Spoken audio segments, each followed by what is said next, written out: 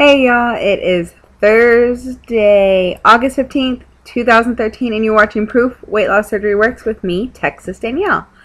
Um, this week's question is to graze or not to graze. Um, offer tips to avoid eating constantly, suggest ways to break the grazing habit. If you list foods you reach for that are better to snack on than others. So I I usually don't graze yet. I haven't, um, like, for like a consistent amount of time. There is like a few days where I feel like I'm eating all the time. And on those days, I never feel satisfied. So I try not to do it because it doesn't satisfy anything whenever I don't take the time to sit and eat and focus on my food. Um, now, there are times where I have to grab a snack and go. I usually try I usually know what my day is going to be like. So I try to plan accordingly. I will pack my lunchtime and snack time meals the night before so that way there's no excuse for me not to have um, protein first meals, bariatric friendly meals, lap band friendly meals. Um, usually if I go for a snack, my lately I have been craving Deli meat, I usually get like garlic and herb chicken deli meat or mesquite turkey breast with Havarti or provolone cheese and uh, pickles sliced lengthwise thin.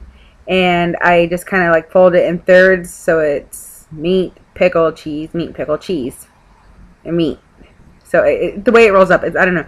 But it's amazing. It is two ounces of meat, one ounce of cheese, and two slices of pickle. And it is the best thing since sliced bread, in my opinion. I don't eat the bread on it anymore, so that's one of my great go-to protein first meals uh, or snack. If I'm going to do it as a meal, I'll do two of those usually.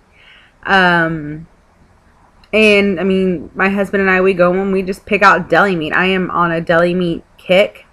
Um, I get two or three slices at a time because I don't eat it that much because if I'm at home, like that's something I'll pack on and throw it in a Ziploc bag and eat it within an hour or so whenever I'm out on the road or at work if I have a way to refrigerate it. Whenever I'm out on the road, I eat Quest protein bars. They're 100, I believe 160 to 200 calories depending on the bar you get. Um, all around 20 grams of protein, so that is great for me. I love them. I love them a little soft and gooey. So if I'm traveling, like if I'm running errands, grocery shopping, store to store, I throw it in my dash and let the sun heat it up. And then it's perfect whenever I'm ready to eat it. We, every now and then, I'll buy like a jerky stick. Uh, beef, like a Slim Jim kind of looking stick. But I'm kind of, I don't know, I got this from uh, Wendy Williams. And she took a lighter to hers and like was like lighting her Slim Jim and eating it. And I was like, holy shit, why wouldn't that be delicious? It's like cooked pepperoni. So I'll take a lighter and like I cook my Slim Jim and eat it that way. It's all nice and crunchy. It's delicious, guys. You, you got to try it. Um, another thing I like to have on hand in the house are Babybel cheese for snacks. Uh, my husband likes those and I like them. We do get the full fat one just because he doesn't like the low fat and to me um, it's so minimal the difference in my opinion and for me so it's something we do go on. I love to have I buy the prepackaged little 0.8 ounce cheese and I eat those for a snack whenever I feel a little hungry. Like if it's an hour before like dinner time I'll eat one of those.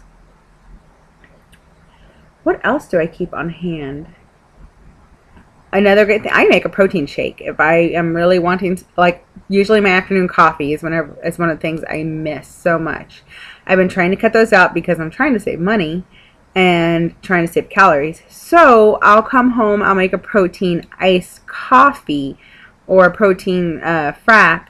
I make my protein whatever flavor I want. I have a bazillion sugar-free flavors, and I have made protein. I made I've made coffee ice cubes. So I do my milk, my coffee ice cubes, my protein powder, whip it all up in a blender, call it good. I make it super thick so that way it takes me longer to drink it and um, it's thick, thicker so it gives me a little feeling in my pouch that I have something in there besides liquids. Another thing is if I feel the need to graze, I'll check my water. Check on your water, guys. If you're feeling the need to eat and eat and eat, it's probably your body saying, hey, I'm thirsty, thirsty, thirsty. So that those are things I do. I choose not to graze, or I try not to at least. Um, some days you just can't help it. You don't even realize it, and that's whenever you need to start. You track it. Whenever I, I do graze, I track. So I, I see the days I'm doing it, and I know the pattern. So I try to avoid it. Um, other than that, I think that is all. I, I try not to. You shouldn't try not to. Check your water. Check your protein. Um, keep protein friendly cheese. I love cheese. Keep it in the house. Um, you know.